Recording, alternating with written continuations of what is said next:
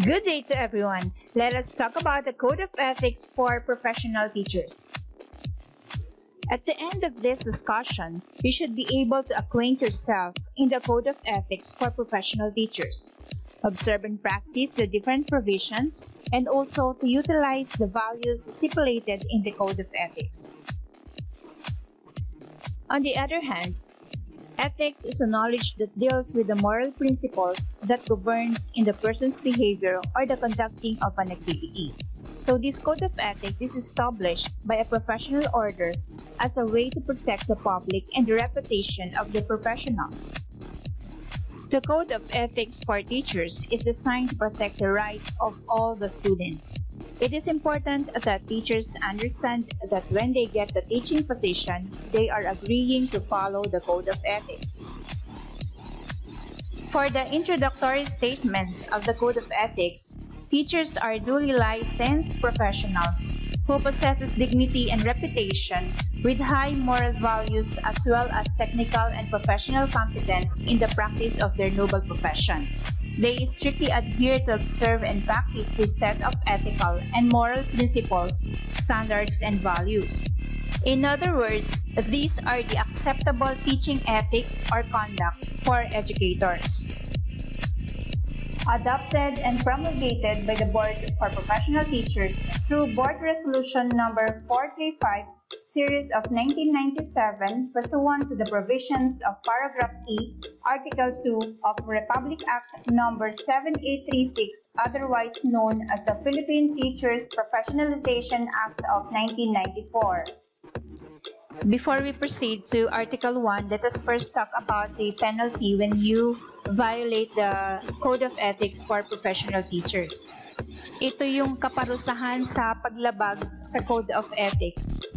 According to Code of Ethics Article 7, Section 1 states, Any violation of any provisions of this code shall be sufficient ground for the imposition against the erring teacher of the disciplinary action consisting of revocation of his certificate of registration and license as a professional teacher, suspension from the practice of teaching profession, or reprimand or cancellation of his temporary or special permit under causes specified in Section 23, Article 8 or RA number 7836 and under Rule 31, Article 8 of the Rules and Regulations implementing RA 7836.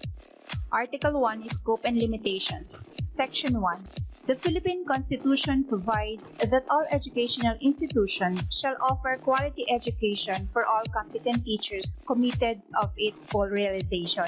The provision of this code shall apply, therefore, to all teachers in schools in the Philippines. Section 2 covers all public and private school teachers in all educational institutions at the preschool, primary, elementary, and secondary levels whether academic, vocational, special, technical, or non-formal. Industrial arts or vocational teachers and all other persons performing supervisory or administrative functions in all schools, whether on full-time or part-time basis. Article 2, the teacher in the state. Section 1 states that the schools are the nurseries of the future citizens of the state. Each teacher is the trustee of the cultural and educational heritage of the nation and is under obligation to transmit to learners such heritage as well as to elevate national morality, promote national pride, cultivate love of country, instill allegiance to the Constitution and for duly constituted authorities and promote obedience to the laws of the state. So let us try to answer some questions in relation with the next articles. Habang i-encourage ni teacher na wag sundin ang batas ng eskwelahan. The answer is no because according to Article 2, Section 2, every teacher or school official shall actively help carry out the declared policies of the state and shall take an oath to this effect. As a teacher, we are more capable to influence our students or our pupils to abide the rules, regulations, guidelines, and other policies implemented by the state. As a professional teacher, is it okay to have a teacher with mental illness? That is definitely no, because every teacher shall be physically, mentally, and morally fit. Tama bang unahin ng guro ang pansariling lakad sa oras ng klase? The answer is no, because every teacher shall possess and actualize a full commitment and devotion to duty.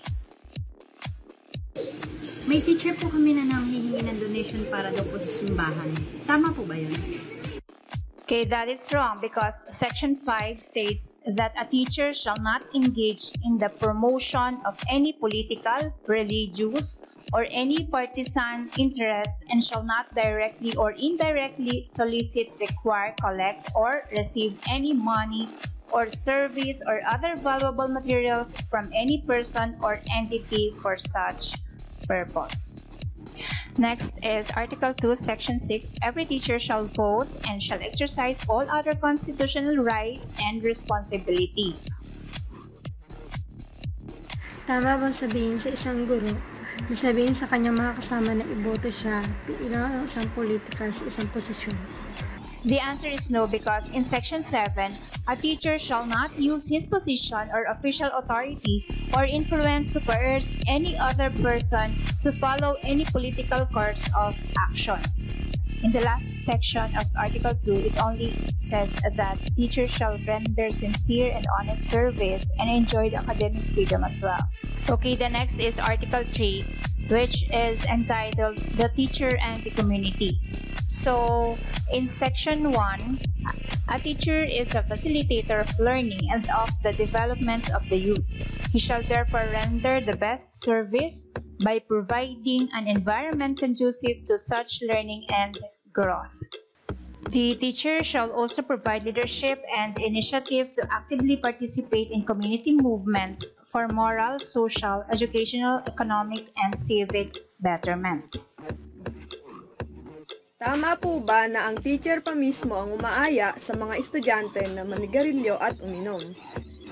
Okay, so for that question, the answer is definitely no because in the first place, teachers must refrain from uh, doing such activities like gambling, smoking, drunkenness, and other excesses such as less illicit relationships. Maaari po bang pilitin ng isang guro ang kanyang estudyanteng Muslim na tanggalin ang headdress nito o kaya naman ay kumain ng pork? It's no. The teacher observes customs and traditions of the state and inspires society to do the same. And it also states that the teacher shall have sympathetic attitude, meaning they must be sensitive enough to the current needs of the community whenever their help is needed. Most importantly, they must avoid talking negative towards the community. Okay, the next section is all about the activities, accomplishments, and problems of the school should also be reported in the community to keep them updated.